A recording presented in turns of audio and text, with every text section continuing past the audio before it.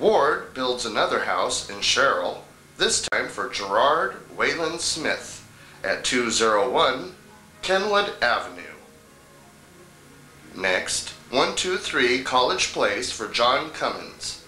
In the late 1980s, the house was ready for demolition for the new Science Technology Center at Syracuse University. The bricked up Mercer fireplace before demolition.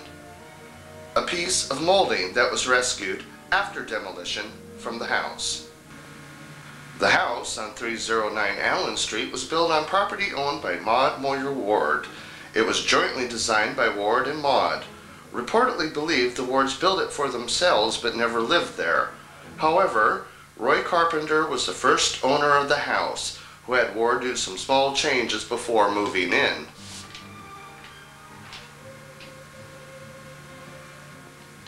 The new 1913 Moyer model cars are now available in Syracuse. The Moyer advertising slogan, no hill too steep, no sands too deep, all roads are level to a Moyer. The slogan has been in use since 1910. Here is the 1913 Moyer Tourist Phaeton. A 1913 Moyer Model B touring car 174. A 1913 Moyer four-cylinder runabout outside the Moyer Auto Factory on the Wolf Street side. 1913 Moyer touring car 203. 1913 Moyer Model B touring car 235. 1913 Moyer Model D touring car 241. A footnote here, 1912 and 1913 Moyer car changes are so subtle it's hard to tell the difference even by the serial tag numbers. This photo, taken in 1913, shows Reverend Timothy Howard with his new Moyer runabout, car number 140. This is the serial tag number 188 and is riveted to the transmission frame cross member as in all other Moyer cars. A 1913 radiator emblem for the Moyer car. In 1912, Henry Ford comes out with the assembly line, which reduces production time to build a car from 14 hours to 1 hour and 30 minutes. He was the great artistic master of his craft, one of the leading designers of stained and leaded glass windows. His name, Henry Keck. Henry Keck got his start as an apprentice to Tiffany at 13 years old. Keck became tired of working for others in Rochester and then in Syracuse. He started his own studio in Syracuse in 1913. Known for his church stained glass windows, Keck will design hundreds of leaded glass windows for years to come in ward houses. At 161 Kenwood Avenue in Sherrill for B.L. Dunn. Back in Syracuse, Ward completes alteration to Harold Moyer's house at 237 Washington Square, just a block away from the Moyer Auto and Carriage factories. A Mercer fireplace completes the house.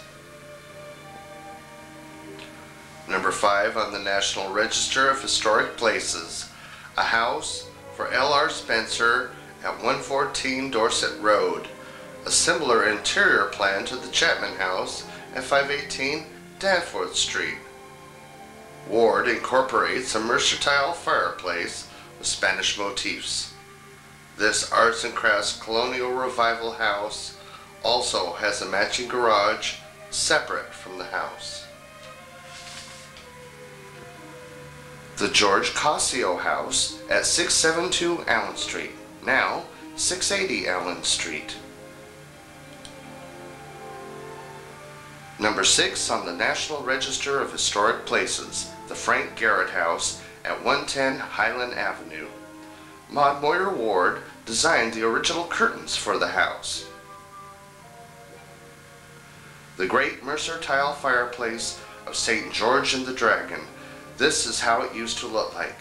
Today no longer intact due to theft. This English cottage style house also has a matching garage that used to have a turntable floor inside to rotate vehicles. Number 7 on the National Register of Historic Places. This house, designed for H.D. Sanford at 211 Summit Avenue. This arts and crafts Tudor Revival house has glass and three Mercer tile installations. This is the living room fireplace by Mercer. The fireplace in the billiard room is a Mercer milestone depicting Christopher Columbus with his ships and the New World.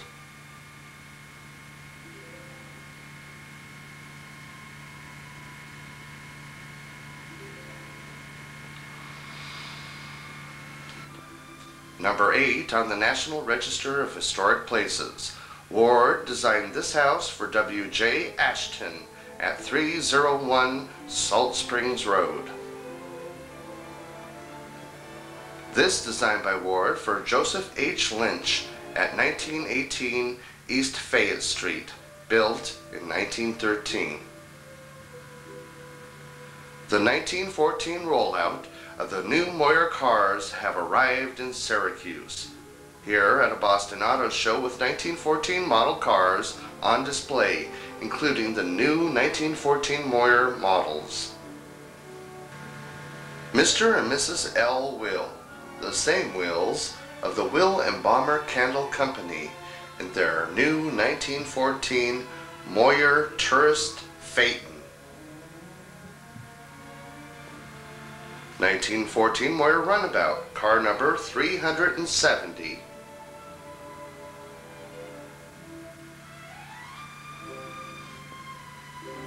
Moyer Touring Car, number 342.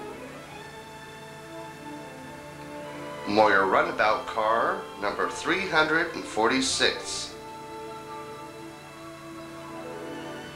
1914 Moyer Model E Runabout.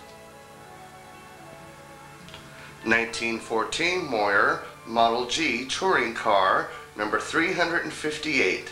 This particular car even made the month of February in an automobile calendar. Number 9 on the National Register of Historic Places. Ward designs this house for Orlo Blanchard at 329 Westcott Street. This is the present home of Cleota Reed, famous Syracuse author and historian. If not for her, Ward would have been forgotten in time, remembered only by those who knew and loved him. Here is the Mercer fireplace at 329 Westcott Street. This is an original drawing by Ward of the same house.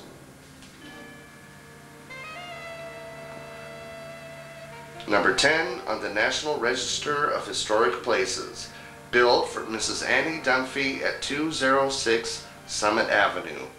Keck glass and Mercer tile installations adorn this Mission Prairie style one-of-a-kind home. A leaded glass medallion by Keck decorates the front door of the house.